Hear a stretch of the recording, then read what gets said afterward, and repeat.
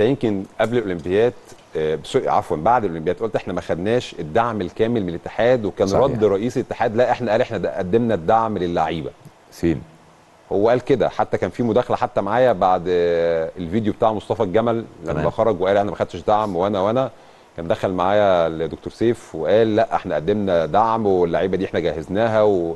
وقالها لفظا كده يعني ما يربيش بالاه علينا حتى أنا اعترضت. جدا على اللفظ ده. إن إحنا تقريبا لعيبة فاشلة أو حاجة زي كده تقريبا يعني معنى الكلام يعني. أنا أقول لحضرتك على حاجة ما حدش يقدر يقول إن إحنا ما خدناش دعم. بس إيه الدعم؟ الدعم إن أنت هل بت- الدعم بيجي متأخر مثلا أنا هقول لحضرتك. الدعم بيروح غلط؟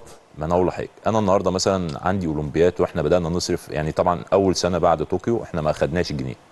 تمام؟ بعد كده بدأنا نصرف اللي هو مثلا أنا طلعت معسكرين أو ثلاث معسكرات في ثلاث سنين. تمام؟ المعسكر حوالي حوالي تقريبا ثلاث أسابيع. تمام؟ بتقبض بتقبض مرتب تقبض شهر تتأخر شهرين وتقبض الشهرين على بعض. آه هو ده الدعم بالنسبة لهم طب فين الأدوات؟ فين فين فين فين المعسكرات؟ فين المدربين؟ أنا ماليش مدرب.